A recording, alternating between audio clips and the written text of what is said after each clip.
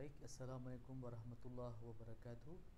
Pada uh, kesempatan ini Saya akan memberikan penjelasan tentang uh, materi uh, peluang atau probability pada mata kuliah statistik dan probabilitas Prodi Teknologi Informasi UIN Araniri okay, um,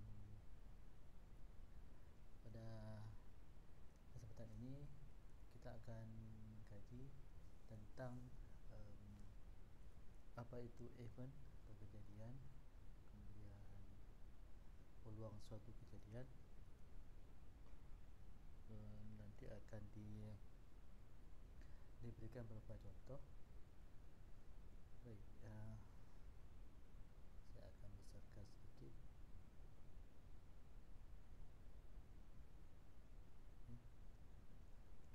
Kejadian adalah penggunaan bagian dari ruang sampel.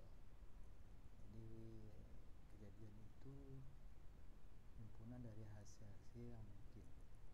Jadi artinya pada saat kita memiliki ruang sampel ada beberapa himpunan bagian atau subset dari ruang sampel itu yang disebut dengan uh, event atau kejadian. Misalkan kita ada himpunan A jika ada kejadian dari hasil kejadian A adalah hasil lemparan ladu yang habis dibagi tiga maka uh, himpunan dari A tersebut adalah uh, cuma dua uh, adalah tiga dan enam. Baik uh, misalkan uh, A dan B adalah kejadian maka A ini saya ingat notasi himpunan di A gabung B. Artinya kejadian salah satu dari A atau B atau keduanya. Artinya itu gabungan dari dua kejadian. Yang kedua A iris B. Kejadian baik A maupun B. Irisan dari dua kejadian. Yang ketiga A kejadian bukan A. Artinya itu komplement kejadian A. A minus B artinya kejadian A tapi bukan B ha. di sini ada catatan jika A gabung jika A iris B bukan himpunan kosong sorry jika A iris B adalah himpunan kosong maka kejadian A dan B saling terpisah atau saling meniadakan dalam bahasa Inggerisnya itu disebut dengan mutually exclusive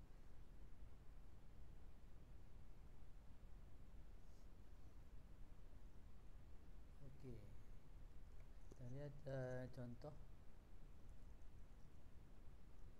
contoh mengenai uh, uh, gabungan himpunan uh, komplement dan selisih.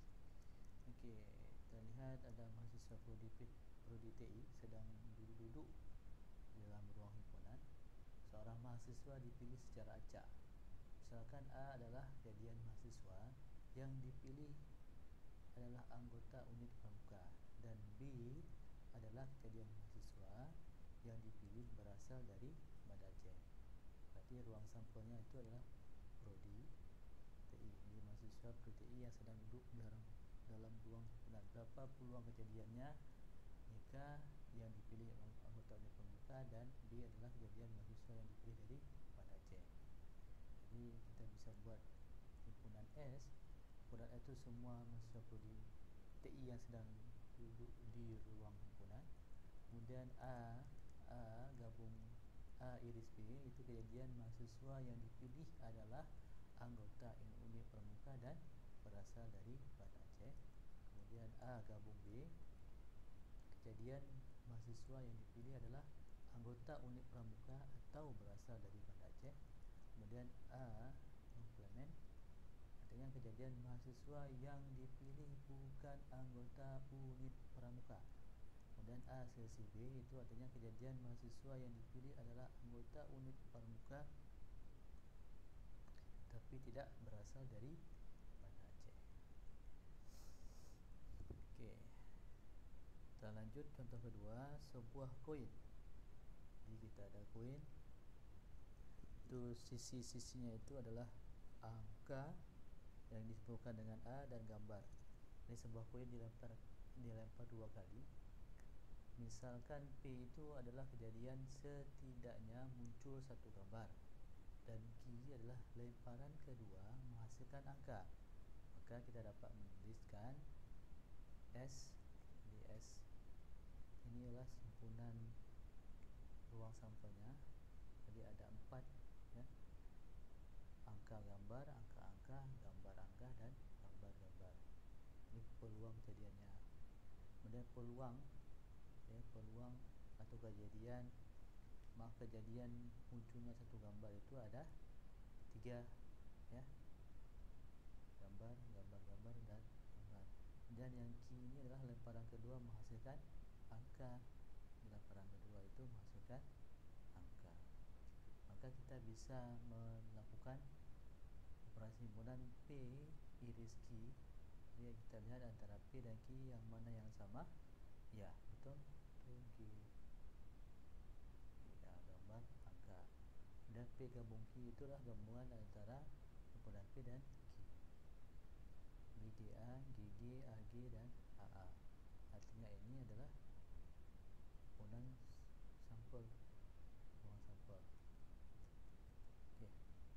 kemudian P komplement artinya kita kejadian bukan ya bukan di pada kejadian komplement itu artinya kejadian yang dipilih kejadian ya, kejadian munculnya bukan yang dalam himpunan ini jadi yang bukan dalam himpunan P ini adalah A, A, A. kemudian P kurang P selisih Q itu P selisih Q di mana anggota himpunan P ya anggota himpunan P yang yang jadi di sini ada gambar-gambar angka gambar. Jadi himpunan anggota P yang bukan yang tidak ada di anggota Q. Maaf jadi uh, P himpunan P selisih Q ini adalah jadi kalau kita punya gambar angka gambar-gambar angka gambar. Dan Q itu ada angka-angka uh, gambar angka. Sekarang kita lihat sini gambar angka ada di P dan ada di Q. Sedangkan gambar-gambar angka gambar itu tidak ada di Q. Jadi selisihnya adalah gambar-gambar angka gambar. Ingat yang kita selisihkan adalah P dengan Q. Kalau kebalikannya adalah peluang suatu kejadian. Uh, peluang kejadian itu sering kita ucapkan pada pada saat kita berbicara dengan orang lain. Misal kita berbicara tentang uh,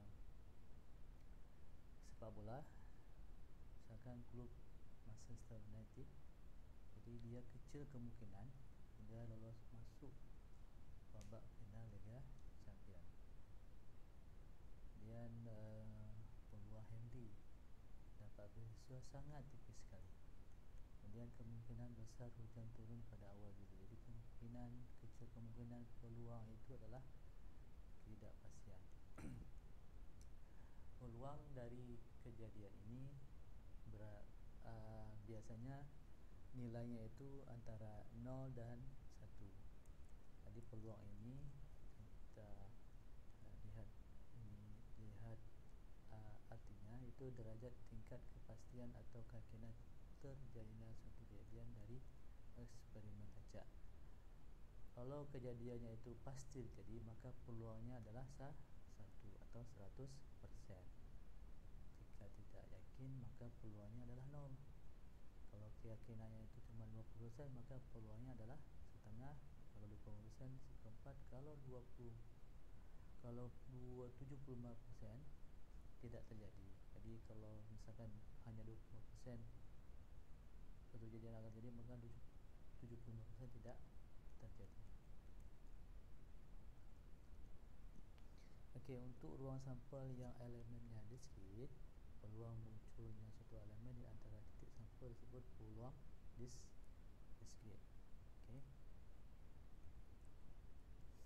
Misalkan ruang sampel S beranggotan n elemen.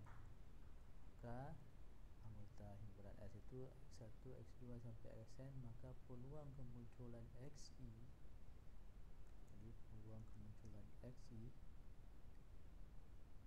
di dalam S disembuhkan dengan P peluang XI di peluang XI peluang diskrit yang di antara 0 dan 1 kemudian jumlah jumlah dari seluruh peluang kejadian itu adalah sama dengan sah 1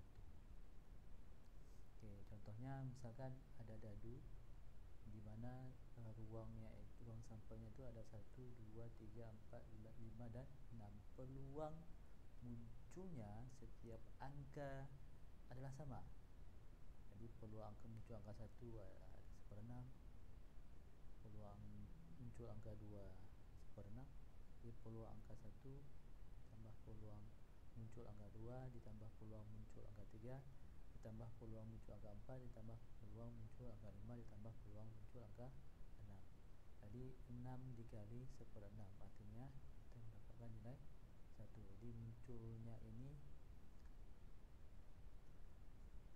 munculnya angka itu 1 per 6 setiap angka yaitu 1 per 6 jadi 1 per 6 kita tambah 1 per 6 ditambah 1 per 6 ditambah 1 per 6 ditambah 1 per 6 dapatnya adalah 6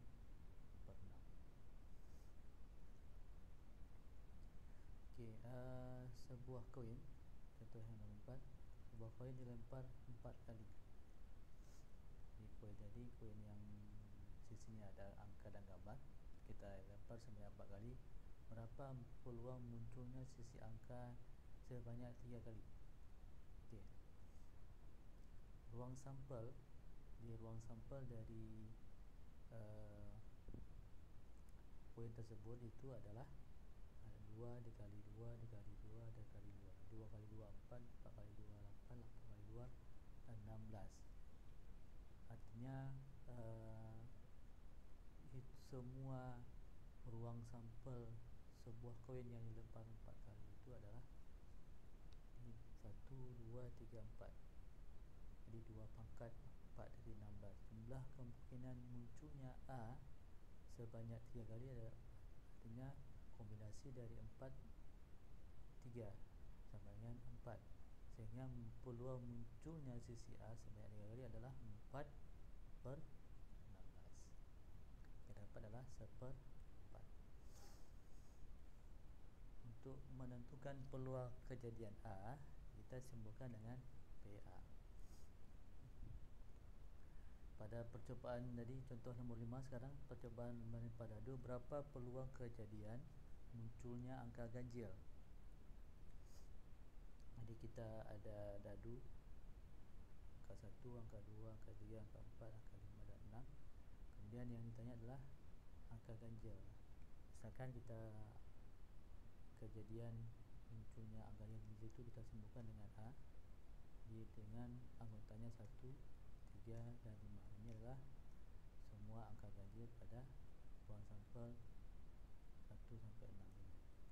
Jadi peluang munculnya jadi peluang pertama itu 1 per 6 peluang kedua itu 1 per 6 ya, peluang ketiga adalah 1 per 6 jadi peluang munculnya angka ganjil 1 per 6 ditambah 1 per 6 ditambah 1 per 6 artinya 3 per 6 sebenarnya setengah.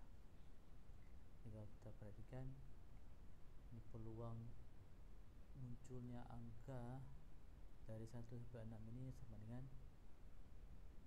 1 jadi 1 tambah 1 2 tambah 3 tambah 4 tambah 5 tambah 6 6 per 6 sama dengan 1 ok sekarang kita lihat definisi. Di definisi peluang kejadian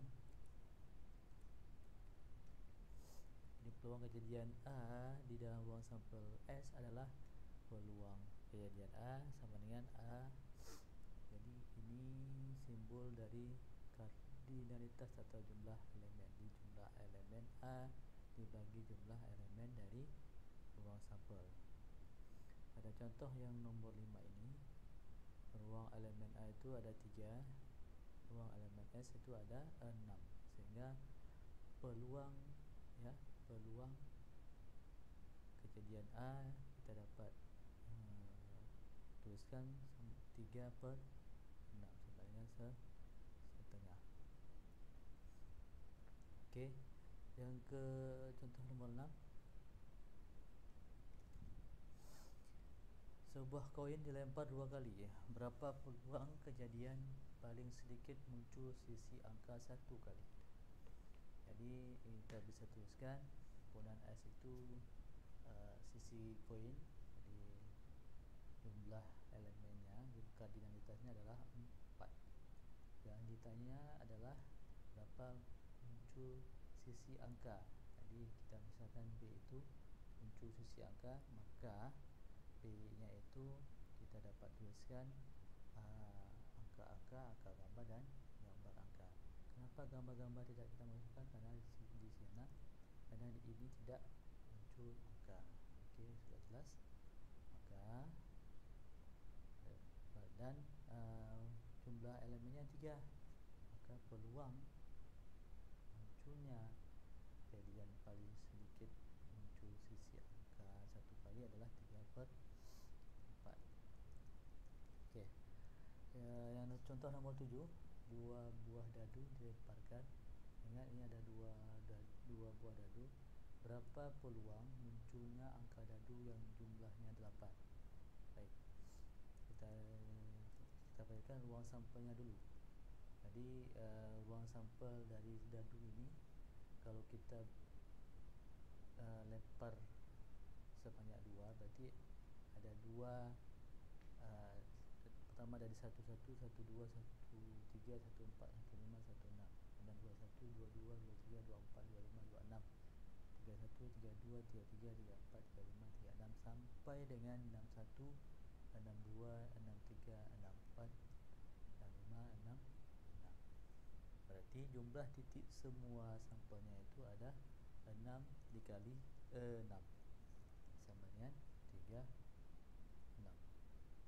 maka kejadian munculnya angka datu yang jumlahnya 8 okay, jumlahnya 8 itu uh, bisa kita tulis A di 2 ditambah 6 3 ditambah 5 4 ditambah 4 5 ditambah 3 6 ditambah 2 sehingga munculnya sehingga peluang munculnya jumlah angka 8 itu ada 1, 2, 3, 4, 5 dibagi dengan jumlah titik sampel. Ok ya, nombor 8 kita ada dua buah contoh lagi. Sebuah dadu dilempar sekali. Misalkan A adalah kejadian angka yang muncul genap okay, dan B kejadian angka yang muncul habis dibagi 3 maka A, A A gabung B adalah kejadian angka yang muncul genap atau habis dibagi tiga dan A iris B adalah kejadian angka yang muncul adalah genap dan habis dibagi tiga. Ini kita tuliskan dulu ruang sampelnya untuk A 246 karena muncul angka 6. Kemudian yang B yang habis dibagi 3 yaitu angka 3 dan angka 6 maka A gabung B di A gabung B ini 2, 3, 4, 6 dan A iris B A iris B antara A dan B yang sama-sama memiliki anggota yang sama di tiap uh, pada himpunan A dan B adalah angka 6 jadi ini peluang munculnya uh, muncul angka 3 jadi muncul angka genap dan Uh, muncul, muncul genap atau yang habis P3 itu adalah karena ini jumlah elemen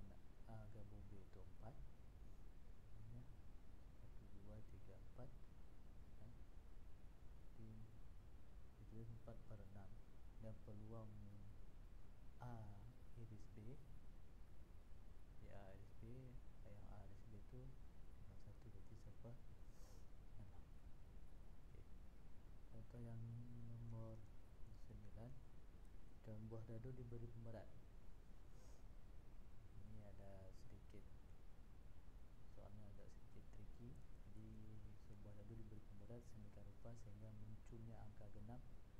adalah dua kali. Peluang munculnya angka ganjil. Berapa peluang muncul peluang kejadian munculnya angka genap? Jadi angka genap itu ada tiga buah. Okey. Angka genap itu ada tiga. Pada pada dadu dua empat dan enam. Dan angka ganjil itu ada tiga juga. Ada satu tiga dan lima. Jadi kita bisa misalkan peluang tiap angka ganjil adalah 8 ya dan um, maka kita bisa tuliskan peluang tiap angka genap adalah 2 dikali X atau 2X berapa 2 kali 2X ada di sini. Jadi di soal di, telah diberikan uh, kuncinya. Di dadu sebuah dadu diberi pemberat sedemikian rupa sehingga peluang munculnya angka genap adalah munculnya angka genap adalah dua kali peluang ganjil jadi karena jumlah peluang semua titik dalam ruang sampel itu adalah satu.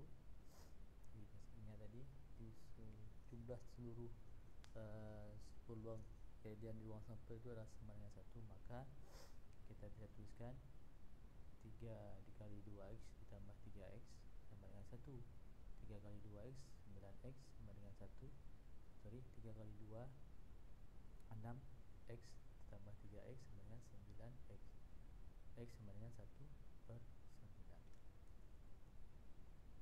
maka kita bisa tuliskan di x nya itu kita sudah dapat yaitu 1 per 9 jadi kalau misalkan uh, jadi yang jawabannya adalah berapa, berapa peluang kejadian munculnya angka genap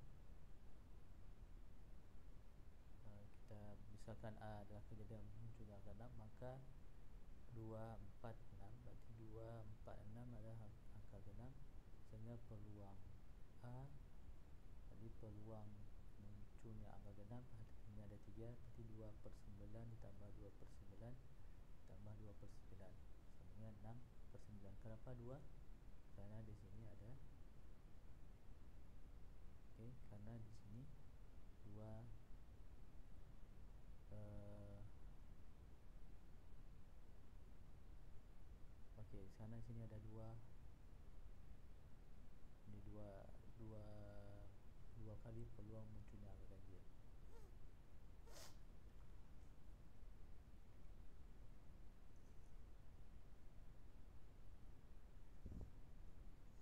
Okey, yang terakhir nombor 10 dalam sebuah ruangan terdapat 5 orang mahasiswa TI, 6 orang mahasiswa TL dan 7 orang mahasiswa biologi. Secara acak dipilih satu orang untuk maju mengambil. Berapa peluang mahasiswa yang terpilih adalah prodi TL, kedua dari prodi TI atau U. Jadi di soal uh, ada 6 orang mahasiswa TL. Jadi pertanyaannya berapa peluang mahasiswa yang terpilih adalah prodi TL karena prodi TL itu ada 6 orang dari 18 orang seluruhnya jadi 5 tambah 6 11 tambah 7 18 jadi 18 orang total semuanya maka ada 6 kemungkinan jadi ada 6 kemungkinan hasil terpilihnya mahasiswa TL jadi kita misalkan A kejadian yang terpilih adalah mahasiswa TL maka peluang kejadian A itu adalah 6 per 18 yang kedua peluang yang terpilih prodi TI mahasiswa prodi TI atau BIU karena kita pakai atau berarti